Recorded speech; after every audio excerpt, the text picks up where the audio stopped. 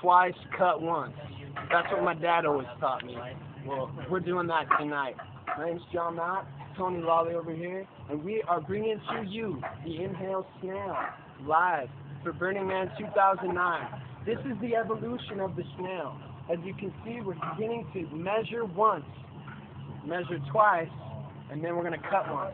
That's the plan, and we're doing it tonight intelligently with the projector.